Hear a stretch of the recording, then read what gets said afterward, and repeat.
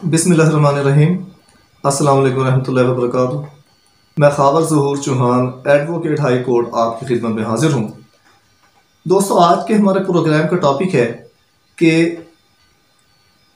ज़बरदस्ती कैद शुदा गैर कानूनी तौर पर ज़बरदस्ती कैद शुदा औरत, बच्चे या कोई अफराद हों, वो उनकी रिहाई का जबता।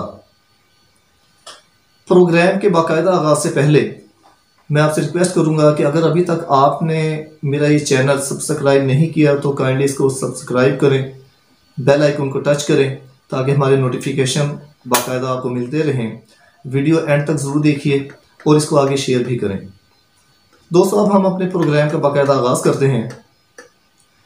हमारे प्रोग्राम का टॉपिक है, वो है कि ख़वातीन, बच्चे या मर्दों को गैर कानूनी तौर पर अगर कैद किया गया हो तो उनकी रिहाई का क्या जबता है, क्या कानून है, उनको कैसे रिहा करवाया जा सकता है?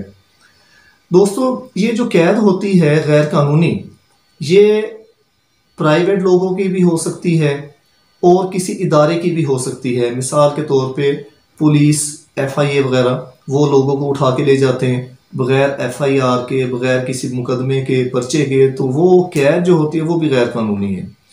इसी तरह ये जो बच्चे हैं, वो मिसाल के तौर पे शोहर ने ज़बरदस्ती बच्चे अपनी कस्टडी में रखे हुए जब मियाँ बीवी के झगड़े हो जाते हैं। तो बच्चों की मर्ज़ी के बरखिलाफ माँ से दूर बच्चों को कैद कर देना, अपने पास रख लेना, वो भी हब से बेजा है। इसको हब से बेजा कानूनी लगत में कहा जाएगा। इसी तरह शादीशुदा औरत है, वो अपने वालदेन की मर्ज़ी के बरखिलाफ शादी कर लेती है तो वालदेन अपनी बेटी को अपने घर में कैद कर देते हैं, शोहर के पास जाने नहीं देते। तो ये भी हब से बेजा की एक किस्म है। तो अब देखना होगा कि जो भी शख्स, बच्चा या कोई औरत अगर अपनी मर्ज़ी के बरखिलाफ कहीं पे कैद की गई हो, कैद किया गया हो, बच्चा मर, जो भी है तो उस सिलसिले में कानून क्या रास्ता फ्राहम करता है, कानूनी चाराजोई क्या इस सिलसिले में हो सकती है? कैसे ऐसे बंदे को रिहा करवाया जा सकता है। तो इस सिलसिले में ये हो सकता है कि जबता फौजदारी की दफ़ा होती है चार सौ इक्यानवे। उसके तहत आप अपने इलाके के सेशन जज के अदालत में एक रेट पटिशन दायर करेंगे। उसमें ये लिखेंगे कि, मिसाल के तौर पे अगर कोई शोहर है और उसकी बीवी को उसके ससुराल वालों ने ज़बरदस्ती अपने पास कैद कर लिया है, वो शोहर के पास आने नहीं देते उस औरत को उसकी बीवी को। तो वो पटिशन दायर कर सकता है कि ये मेरी बीवी है, मेरे ससुराल वालों ने उसकी, मेरी बीवी को उसकी मर्ज़ी के बरखिलाफ घर में कैद किया हुआ है हफ्से बेजा में है तो इसको वहाँ से रिहा करवा के मेरे हवाले किया जाए।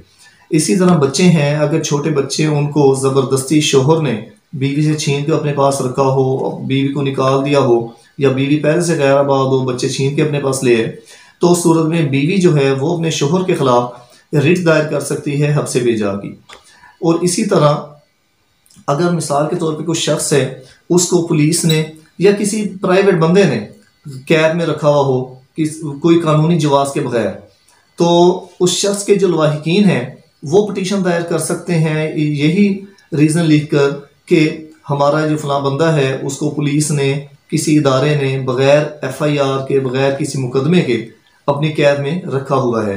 या किसी शख्स ने, जो कि ना पुलिस है, ना एफ़ आई ए है, ना कोई एजेंसी इस तरह का जिसके पास इख्तियार होता है कानूनी तौर पर कैद रखने का तो उन्होंने के फलां प्राइवेट बंदा है, उसने हमारे फलां बंदे को हमसे बेजा में रखा हुआ है। तो ये इस बुनियाद पे ये पटिशन दायर होती है सेशन जज के पास। जो भी आपके ज़िले का सेशन जज होगा, या आप तहसील लेवल पे रहते हैं तो तहसील में जो सेशन कोर्ट्स होती हैं, वहाँ पे ये पटिशन दायर होगी। और उसके बाद उसका जबता ही होता है कि सेशन जज बैलफ रवाना करता है। बैलफ होता है, अदालती नुमाइंदा होगा। इसमें कोई जज साहब भी हो सकते हैं, अदालती मुलाजिम भी हो सकते हैं, जिसको जज साहब इस बारे में तहरीरी तौर पे इख्तियार दें कि आप जाएँ और जिस जगह गैर कानूनी तौर पे उस शख्स को, बच्चे को या औरत को रखा गया है, आप वहाँ जाके छापा मारें और उसको बरामद करें। तो वो बैलफ मौके पे जाएगा, जाके अगर वो थाने में बाँध है तो थाने में से उसको निकालेगा। और अगर कोई बच्चे हैं, शोहर के पास ज़बरदस्ती रखे गए हैं, या मिसाल के तौर पे ऐसा भी हो सकता है, बच्चे अपने बाप के पास हों और वालदा के पास आप ना जाना चाहते हो, वालदा गैर कानूनी तौर पे बच्चों को ज़बरदस्ती ले गई हो, उनकी मर्ज़ी के बरखिलाफ कैद में रखा हुआ हो तो शोहर पिटिशन दायर कर सकता है ऐसी, यानी कि बच्चों का बाप।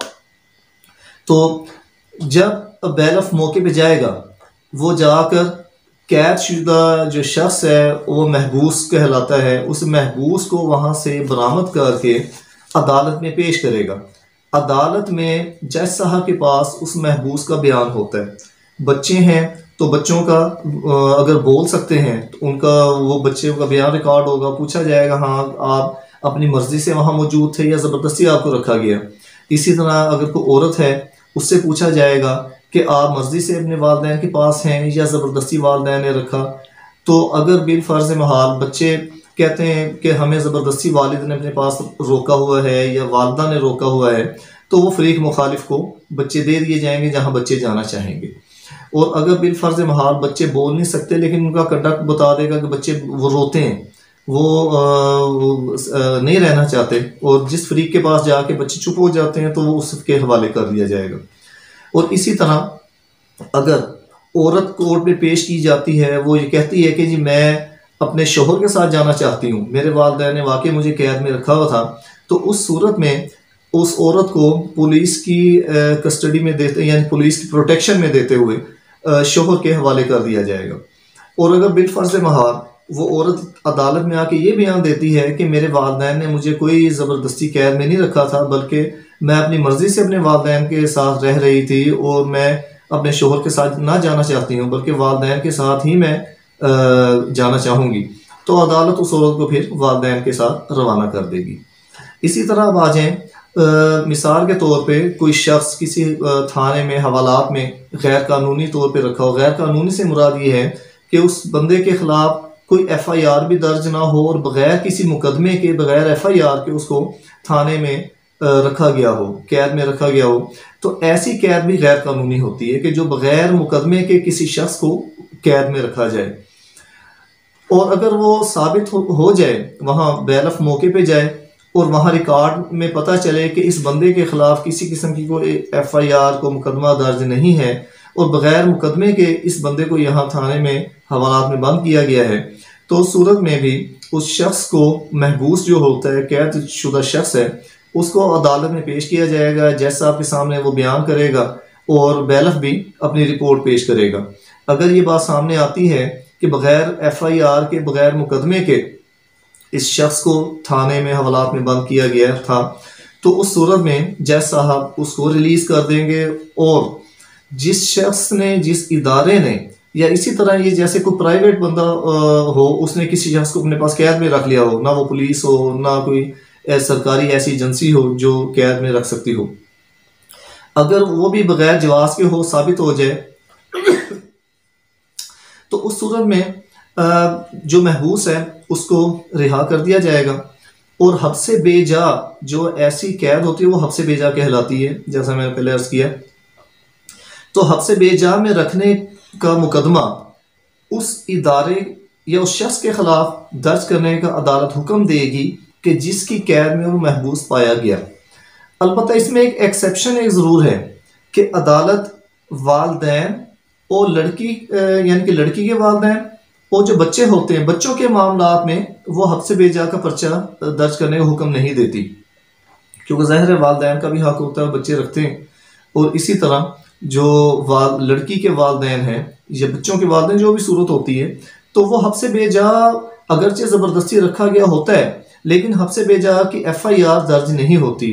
अलबत् वालदेन से हट के दीगर अफराद और थाने वगैरह हवालात में अगर कोई बंदा इस तरह पाया गया हो बगैर मुकदमे के तो उसके ऊपर ज़रूर अदालत हफ्से बेजा का पर्चा यानी एफ़ आई आर मुकदमा जो है फौजदारी वो दर्ज करने का हुक्म दे सकती है।